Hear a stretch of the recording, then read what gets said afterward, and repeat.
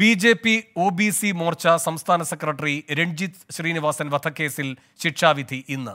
Mavelikkara additional sessions കോടതിയാണ് വിധി പ്രസ്താവിക്കുക. കേസിൽ വിചാരണ നേരിട്ട Popular Front S D P I പ്രവർത്തകരായ പതിനഞ്ച് പ്രതികളും കുറ്റക്കാരാണെന്ന് കോടതി നേരത്തെ കണ്ടെത്തിയിരുന്നു. കനത്ത സുരക്ഷാ വലയത്തിലാണ് കോടതിയും പരിസരവും. കായംകുളം ചെങ്ങന്നൂർ ഡിവൈഎസ്പിമാർക്കാണ് സുരക്ഷാ ചുമതല. വിധി കേൾക്കാൻ രഞ്ജിത്ത് ശ്രീനിവാസന്റെ കുടുംബം കോടതിയിലെത്തിയിട്ടുണ്ട്. മനീഷ് മഹിബാൽ ആലപ്പുഴയിൽ നിന്ന് ചേരുന്നു കൂടുതൽ വിവരങ്ങളുമായി മനീഷ് എപ്പോഴായിരിക്കും ശിക്ഷാവിധി പ്രഖ്യാപനം ഉണ്ടാവുക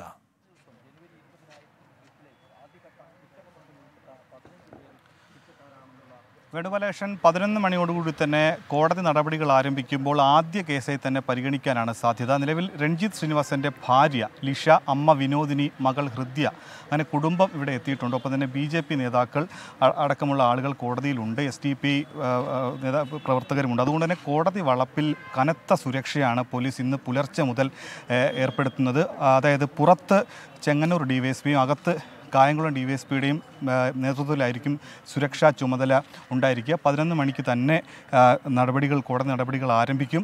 ഏറ്റവും പ്രധാനപ്പെട്ട കാര്യം ഈ കേസിൽ ശിക്ഷാവിധിയിന്മേൽ പ്രതികൾക്ക് പറയാനുള്ള മുഴുവൻ കാര്യങ്ങളും കോടതി കഴിഞ്ഞ ദിവസം കേട്ടിരുന്നു. അതിനു മുൻപ് തന്നെ പതിനഞ്ച് പേരും കേസിൽ വിചാരണ പൂർത്തിയാക്കിയ പതിനഞ്ച് പേരും കുറ്റക്കാരാണെന്ന് സംശയാതീതമായി കോടതിക്ക് ബോധ്യപ്പെട്ടു. അതിൽ എട്ട് പേർ ആദ്യത്തെ ഒന്ന് മുതൽ എട്ട് വരെയുള്ള പ്രതികൾ കൊലപാതകത്തിൽ നേരിട്ട് പങ്കെടുത്തവരാണ്. ഒൻപത് പത്ത് പതിനൊന്ന് പന്ത്രണ്ട് പ്രതികൾ ഈ കൊലപാതകം നടത്താൻ സഹായം ചെയ്തവർ ഗൂഢാലോചന നടത്തിയവരാണ്. ശേഷിക്കുന്ന മൂന്ന് പ്രതികൾ ഈ കേസിൽ ഇവരുമായി അതായത് ഇവരെ സഹായിക്കാൻ ഇവർക്ക് വാഹനം വാടകയ്ക്ക് നൽകാൻ അടക്കമുള്ള കാര്യങ്ങളിൽ ഇവരെ സഹായിച്ചു അങ്ങനെ പതിനഞ്ച് പേരടങ്ങുന്ന പ്രതി പട്ടികയിൽ മുഴുവൻ പേർക്കും ഏറ്റവും പരമാവധി ശിക്ഷ തന്നെ നൽകണമെന്നാണ് പ്രോസിക്യൂഷൻ കോടതിയിൽ വാദിച്ചത്. ഇത് അപൂർവങ്ങളിൽ അപൂർവമായ കേസാണ്. അതിനുള്ള തെളിവുകളൊക്കെ തന്നെ സുദൃഢവും വ്യക്തവുമായിട്ടുള്ള പല തെളിവുകളും കോടതി ഹാജരാക്കിയിട്ടുണ്ട്. പ്രോസിക്യൂഷൻ അഭിഭാഷകൻ കൂടി ഇപ്പോഴിപ്പോഴെത്തിയിട്ടുണ്ട് പ്രതാപ് ജി പഠിക്കലാണ് സാർ എത്രത്തോളം വിധി എങ്ങനെ ഉണ്ടാകും എന്നുള്ള കാര്യം ജഡ്ജിയുടെ ആ കയ്യിലാണ് സമയത്തിനുള്ളിൽ വിധി വരും. നമുക്ക് നോക്കാം എന്ത് വരും എന്നുള്ളത് പ്രോസിക്യൂഷന്റെ ഭാഗത്തുനിന്ന് എല്ലാം പ്രോസിക്യൂഷന് ആരോപിച്ചിട്ടുള്ള കുറ്റങ്ങളെല്ലാം തെളിഞ്ഞിട്ടുള്ളതായി കോടതി കണ്ടെത്തിയിട്ടുണ്ട്. സ്വാഭാവികമായും അതുകൊണ്ട് നമുക്ക് സന്തോഷമുണ്ട്. നമ്മൾ പ്രതീക്ഷിക്കുകയാണ്. അനുകൂലമായ വിധി ഉണ്ടാകും എന്നുള്ള പ്രതീക്ഷയിലാണ്. Maximum punishment so already the accused persons are found guilty by the honourable court so we find the maximum punishment about to these accused persons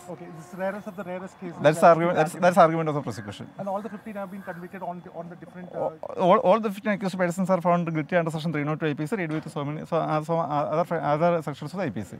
And also uh, 27 IMS Act also. So they're expecting uh, Maximum punishment, maximum, maximum. punishment. maximum punishment. So yes, that is the. ആ, വേണുഗോപാലകൃഷ്ണൻ അതായത് capital punishment വധശിക്ഷ തന്നെ നൽകണമെന്നുള്ള വാദമാണ് prosecution നിരത്തിയത്. പക്ഷേ ഇതിനെ പ്രതിഭാഗം ഇതിനെ മറ്റൊരു വാദമായി പറഞ്ഞത് ഇത് അപൂർവങ്ങളിൽ അപൂർവമായ കേസല്ല. രാഷ്ട്രീയ കൊലപാതകങ്ങൾ ഇതിനു മുൻപും കേരള ചരിത്രത്തിലൊക്കെ തന്നെ ഉണ്ടായിട്ടുണ്ട്. പ്രതികളുടെ പ്രായം മുപ്പതിനും അൻപതിനും ഇടയ്ക്ക് പ്രായമുള്ളവരാണ്. ഇരുപത്തിയെട്ട് വയസ്സുള്ള ഒരു പ്രതി കൂടിയുണ്ട്. അതുകൊണ്ട് പ്രതികളുടെ പ്രായം കൂടി പരിഗണിക്കണം. പ്രതികളുടെ വ്യക്തിപരമായ താല്പര്യങ്ങൾക്ക് വേണ്ടി നടത്തിയ കൊലപാതകമല്ല തികച്ചും രാഷ്ട്രീയ പ്രേരിതമാണ്. ആ, ഇവരുടെ സുഹൃത്തും ഒപ്പം തന്നെ സംഘടനാ പ്രവർത്തനം ഇത്തരത്തിലുണ്ടായിരുന്ന എസ് ഡി പിയുടെ സംസ്ഥാന സെക്രട്ടറി കെ എസ് ഷാനെ കൊന്നതിലുള്ള പെട്ടെന്നുണ്ടായ പ്രതികരണമാണ്. മറ്റു ഗൂഢാലോചന ഈ കേസിലില്ല തുടങ്ങിയ വാദങ്ങൾ പ്രതിഭാഗത്തിന് വേണ്ടി ഹാജരായ പി പി ഹാരിസ് നിരത്തി. അപ്പോഴും അവസാന ഘട്ടത്തിൽ ശിക്ഷാവിധിയിന്മേൽ പ്രോസിക്യൂഷൻ നിരത്തിയ വാദം ഗൂഢാലോചന തന്നെയായിരുന്നു. കാരണം ഈ കേസിൽ പ്രധാനമായും പോലീസിന് കിട്ടിയ കുറ്റപത്രം സമർപ്പിച്ച പ്രോസിക്യൂഷൻ ഹാജരാക്കിയ പ്രധാനപ്പെട്ട തെളിവ് ഹിറ്റ് ലിസ്റ്റ് ആയിരുന്നു മൂന്നാം പ്രതി അനൂപിന്റെ ഭാര്യയുടെ ഫോണിൽ നിന്നും കണ്ടെത്തിയിട്ടുള്ള ഹിറ്റ് ലിസ്റ്റ് ഒപ്പം തന്നെ ഇവരുടെ പലരുടെയും മൊബൈൽ ഫോണിൽ കിട്ടിയിട്ടുള്ള പല ഡിജിറ്റൽ രേഖകൾ ഇവർ ആ വീട്ടിലേക്ക് എത്താൻ ഉണ്ടാക്കിയ ഗൂഗിൾ മാപ്പിന്റെ തയ്യാറാ സഹായത്തോടെ തയ്യാറാക്കിയ രൂപരേഖ അതായത് അങ്ങോട്ടേക്ക് എത്താനുള്ള മാർഗങ്ങൾ ഒപ്പം തന്നെ ഗൂഢാലോചന നടത്തിയതിന്റെ സി സി ടി ദൃശ്യങ്ങൾ അടക്കമുള്ള കാര്യങ്ങൾ സുദൃഢവും വ്യക്തമായിട്ടുള്ള തെളിവുകളായി കോടതിയിൽ നിരത്തിയിട്ടുണ്ട്. അതുകൊണ്ട് തന്നെയാണ് പതിനഞ്ച് പേരും സംശയാതീതമായി കേസിൽ കുറ്റവാളികളാണ് ഈ കൊലപാതകത്തിൽ പങ്കെടുത്തവരാണ് എന്ന് കോടതിക്ക് ബോധ്യപ്പെട്ടത്. കേസിൽ നാൽപ്പത്തിയൊന്ന് പ്രതികളുണ്ട്. ആദ്യഘട്ട കുറ്റപത്രം സമർപ്പിച്ചതിൽ വിചാരണ പൂർത്തിയായി. രണ്ട് വർഷത്തോളം എടുത്തു. മൂന്ന് കൊലപാതകങ്ങൾ ഉണ്ടായി അങ്ങനെ ഒരു കൊലപാതക പരമ്പരയുടെ കാഴ്ചയായിരുന്നു ആലപ്പുഴയിൽ ഉണ്ടായത് ആദ്യം ഉണ്ടായത് രണ്ടായിരത്തി ഇരുപത്തിയൊന്ന് ഫെബ്രുവരി മാസം വയലാർ സ്വദേശിയായിട്ടുള്ള നന്ദുകൃഷ്ണ കൊല ചെയ്യപ്പെടുന്നു. അതിന്റെ പ്രതികാരം എന്നോണം പിന്നീട് എസ് ടി പി സംസ്ഥാന secretary K S Shan Alappuzha മണ്ണഞ്ചേരിയിൽ വെച്ച് കൊല ചെയ്യപ്പെടുന്നു.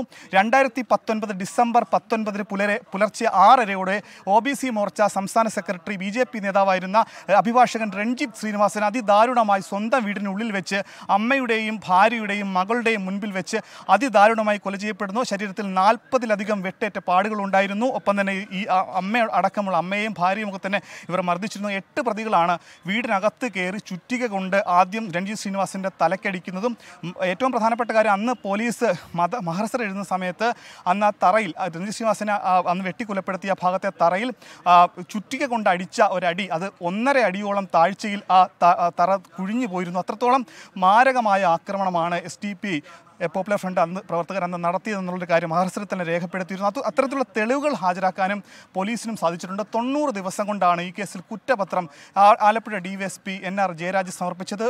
ഒൻപത് മാസത്തോളം വിചാരണ നീണ്ടു. അങ്ങനെ രണ്ട് വർഷങ്ങൾക്ക് ശേഷം കേരളത്തെ ഞെട്ടിച്ച വളരെ ക്രൂരമായ ഒരു കൊലപാതകത്തിന്റെ വിധി അത് ഇന്ന് ആലപ്പുഴ മാവേലിക്കര അഡീഷണൽ സെഷൻസ് കോടതി ഒന്ന് ജഡ്ജി വി ജി ശ്രീദേവി വിധി പറയും. വിധിക്ക് മുൻപായി എല്ലാവരും കുറ്റക്കാരാണെന്ന് കണ്ടെത്തുകയും ഒപ്പം തന്നെ പ്രോസിക്യൂഷനും പ്രതിഭാഗത്തിനും ആ, എല്ലാം പറയാനുള്ള കാര്യങ്ങളെല്ലാം കേട്ടിരുന്നു. ഇന്ന് പതിനൊന്ന് മണിക്ക് തന്നെ കേസ് ആദ്യ കേസായി തന്നെ പരിഗണിക്കുമെന്നാണ് നമുക്ക് അറിയാൻ സാധിക്കുന്നത്. വേണുബാലകൃഷ്ണൻ മനീഷ് മഹിപാലാണ് ആലപ്പുഴയിൽ നിന്ന് വിശദാംശങ്ങൾ നൽകിയത്. രഞ്ജിത് ശ്രീനിവാസൻ വധക്കേസിൽ പ്രതികളുടെ ശിക്ഷാവിധി പതിനൊന്ന് മണിക്ക് കോടതി പ്രഖ്യാപിക്കും.